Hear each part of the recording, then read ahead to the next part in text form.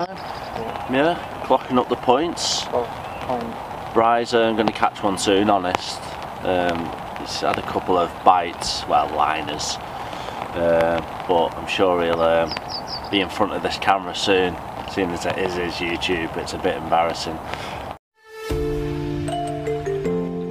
I'm Brian College, and in my spare time, I fish northwest UK waters in search of a double figure carp.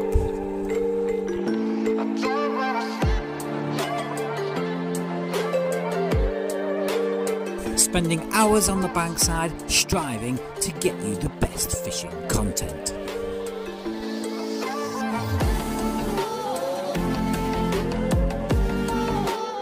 I'll bring you fishing with my family, and with my friends, and also with the mighty Chad.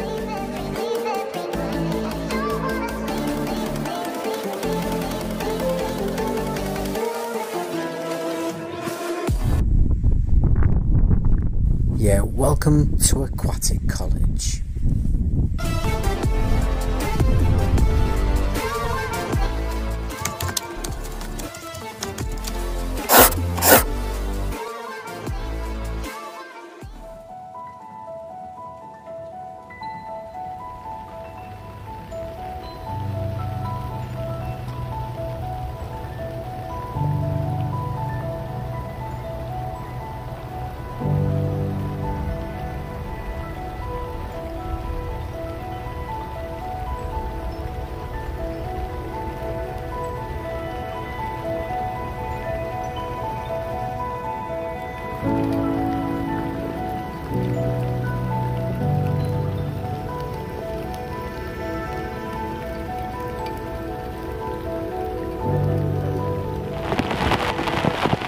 Good morning, welcome to Aquatic Colledge. My name is Bry, and today I've got a special guest. We have got the mighty David Savage, or David Savage Fish Savage. So, yeah, today we're at Partridge Lakes, we're on Holbar Lake, and we're having a competition in the pouring rain. And, uh, yeah, today is going to be based on the total weight. Yes. Yeah, so we've been here since half seven. It's now half eight. Um, David's caught one roach so far, um, which you'll see now. So, not been in the water long. Caught this little little roach on the near side margin. Uh, I've not blanked, but I'm hoping for a little bit bigger than this today. How much does it weigh? Uh, 0.6 pounds. But every little, you know, counts, and Yeah. that might be the difference at the end. And speaking of little, I've not blanked either because when I netted Savage's fish, I got a little tiny, I think it's a bream. Could be a bream. So I've not blanked either. Well, you can see that. There you go. So, so David's not blanked, and uh, I've not blanked. I wouldn't count it, but Yeah. you know. So hopefully, times. hopefully this is not the biggest one for me today. So yeah, we'll put these back now, and uh, hopefully we'll see in a bit. And yeah, that's where we're up to at the moment. So keep on watching, and hopefully we'll bring you lots of carp, mainly from my peg. So see in a bit. So today I'm on peg 16. David. Move out the way. Good cast, mate. So yeah, today I'm on peg 16 and my right hand rod I've got up against these reeds. It's normally a good spot. And my left hand rod I've got over here in that little alcove. So this is peg 16. Um, normally the right hand rod's really prolific, so keep on getting liners, drop backs, but uh, nothing yet. And this is David's peg, which is peg 17. And is your right hand rod in the margin? Uh, no, both out far. Both out far. Whereabouts? About three foot away from the reeds. Right, okay. So David's all across here. So fingers crossed. I fished here a couple of weeks ago and the hot spot is over on that side, but I've not told David yet. But that's the hot spot. So over zoom in. See I think that bit there. Can't see it now, zoom out. That bit there. That's the hot spot. That's the hot spot, David. Maybe I'll try that one. Yes, just over there. This is peg 17. I'm on peg 16. Well, David's in. They come off? No, no, just swam towards you. So, a little bit wet, just using this towel to keep my hair dry. And uh, you wouldn't believe it, it's the world famous savage fish. Uh, 1.1 pound I think, so we're getting there, you know, not quite the carp that I'm after, but yeah, I'm happy with that. Uh, we'll get it back, hopefully catch some more. I've always been confused when I'm carp fishing. Because it's overcast, rainy, really warm. you'd think it'd be perfect for carp fishing. Yet my swim was completely dead. The spots I get, I normally get fish, but nothing. David, on the other hand, well, he was in again. So, got first carp of the day. What was it? Five pound. Five three. Five three. Uh, so not not a bad start. Nice um, common. Um, pretty happy with it. Got my line tangled as I was uh, reeling it in, so that was a bit eventful. But Brian helped me out. So yeah, lovely fish. Gonna get it back and um, hopefully get some more. Well, would you believe it? He's in again.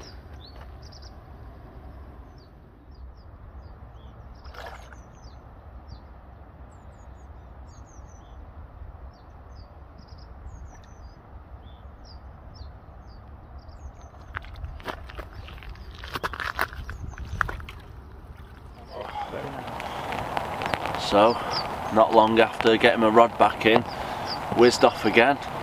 A nice mirror, 5.8 pound this time. Mirror, clocking up the points. Bry's, I'm going to catch one soon, honest. Um, he's had a couple of bites, well, liners. Uh, but I'm sure he'll um, be in front of this camera soon, seeing as it is his YouTube. It's a bit embarrassing. But uh, right, we'll get this back in and um, crack on. Well, he's only just put that fish back. And he's what the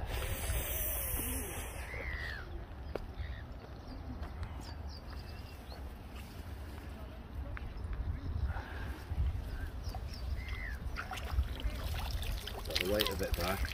yeah. Got the weight of it.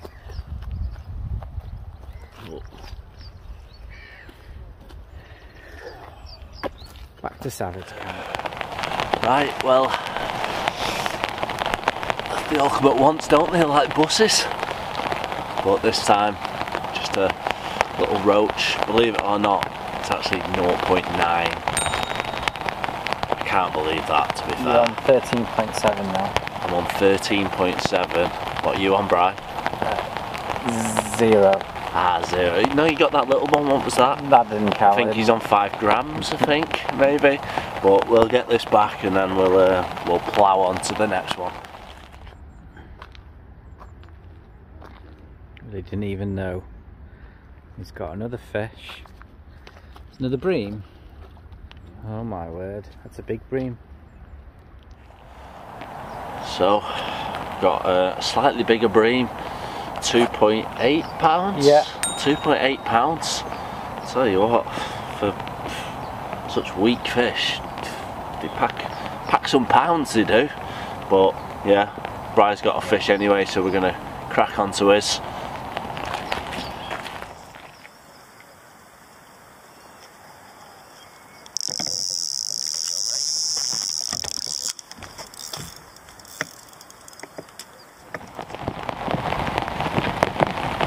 It's 11 o'clock and finally my rod's gone. I've got common carp, exactly nine pounds. So relieved to actually get off the board. Stunning the fish. That was on the right hand side, up against the reeds. So yeah, finally off the mark and uh, hopefully there's plenty more to come.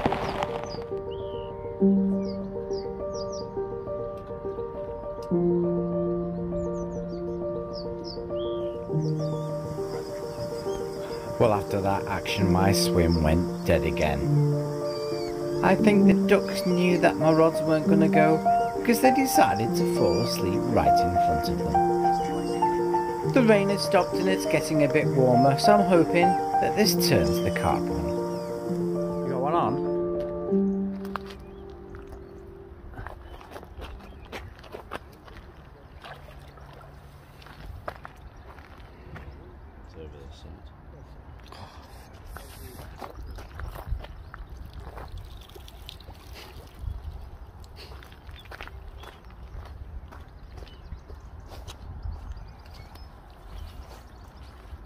You've not moved your thing over yet, have you? Oh my word. That's going to give you another three pounds for that. For that sminging bream. So it's been a little minute, it's gone a bit quiet, um, but now back once it stops flapping round with another savage fish. Unbelievable, Jeff. Uh, but I think this one's 2.7 pounds, so just adds a little bit more to my Yeah. um, leaderboard. You're on 19.3 19.3 pounds, and I'm on 9. and Bry's on nine. To be fair, it was a nice nine, but you know he's he's been a bit quiet. Uh, but I promise it, he'll be on the camera a bit more this afternoon, hopefully. Um, but I'm going to put this back and um, cast my rod back out.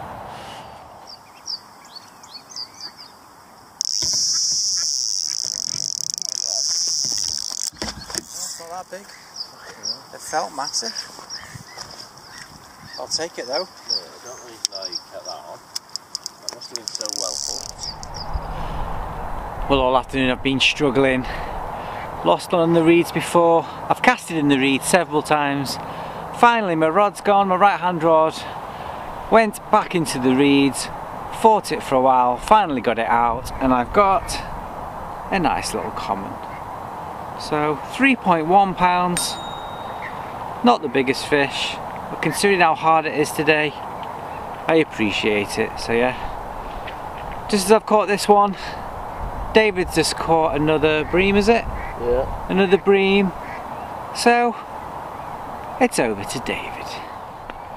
Well, just as Bry caught that carp, I've caught another savage fish, only 1.4 pounds, but keeps on adding to the tally, so I'm happy just to try and keep some distance away from Bry. Hopefully I can catch a bigger fish now to try and really help me relax a little bit, get this one back.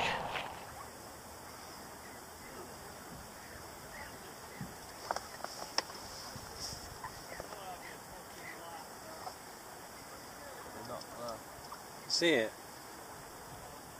Margin.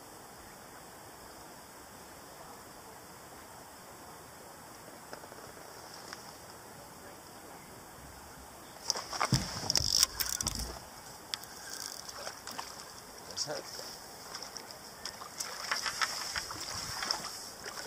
it? Well, Pull though, don't they?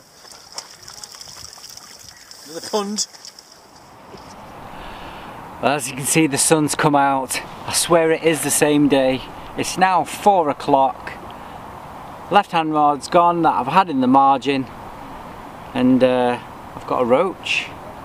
Uh, 0.8 of a pound, which gives me a little bit more weight. Trying to catch David up. I think we've only, probably only got an hour or so left, maybe two hours. But yeah, it's uh, not what I wanted, but uh, after today, it's a fish.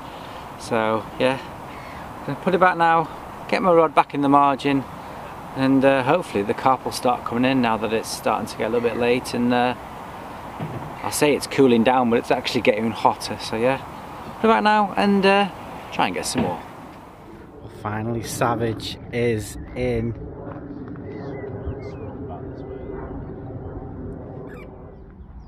Might be a bream.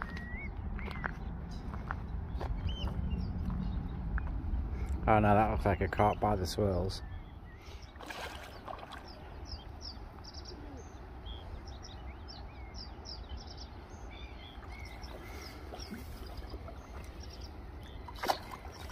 Keep it up, keep it up, keep it up.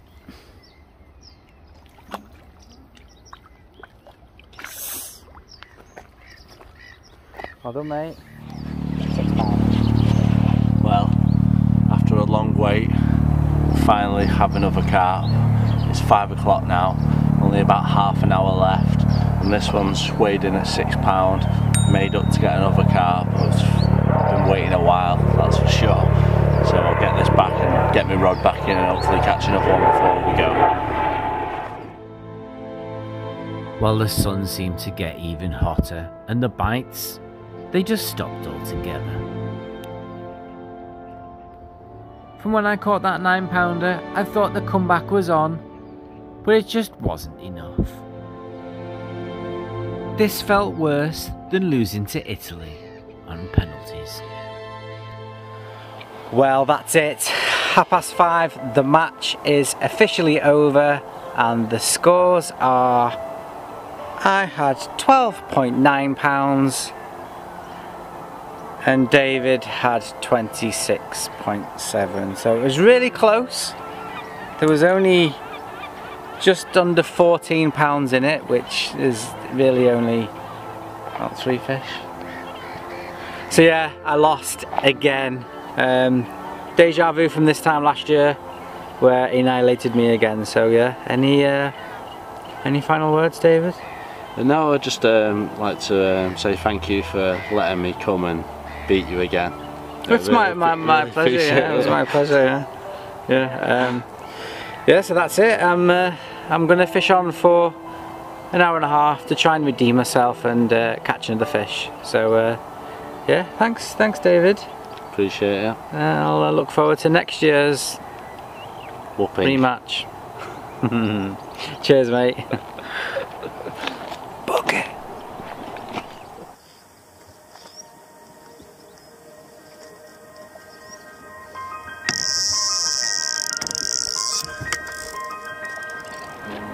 It's always the way. Whoever I'm fishing with, whether it's David, whether it's the mighty Chad, as soon as they go, I start getting bites. Only a small common carp. Two pounds. Nice fish. But it's come five minutes too late. Well, my optimism was short lived, because after that carp, the only thing that was feeding on my swim were these cheeky little ducklings clearing up my ground bait. It was a really nice day, even though the weather wasn't the best, we both caught carp.